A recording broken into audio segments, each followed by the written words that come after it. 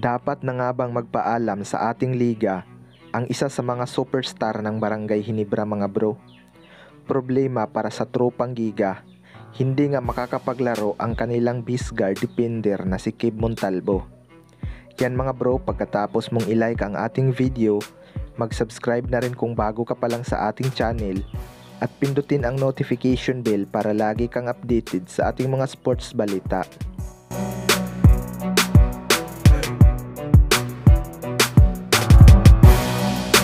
So hindi nga makakapaglaro si Kib Montalvo sa tropang giga mga bro. Ayon nga sa report, anim hanggang walong linggo itong hindi makakapaglaro ngayong season sa TNT tropang giga matapos itong mag-undergo ng menisca repair.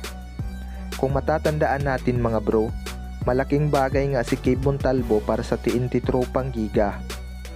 Hindi man ganun kataas ang kanyang scoring pero grabe naman yung hassle na naibibigay nito sa kanilang team. Hindi mo talaga matatawaran ang dipinsa ng taong ito. Isa ito sa nagpahirap sa mga SMC guard tulad nila Terence Romeo at Mark Baroka.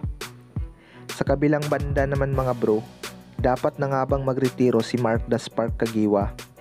Para sa akin mga bro, mas maganda nga na magpahinga na si Mark Kagiwa sa ating liga at ibigay na lang sa kanilang mga batang player ang kanyang slots.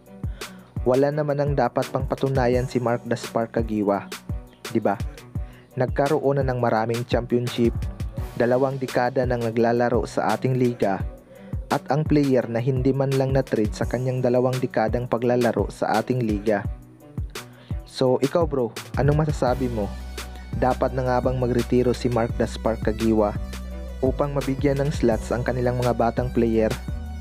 Magkomento ka lang dyan sa baba. Maraming salamat sa panonood mga bro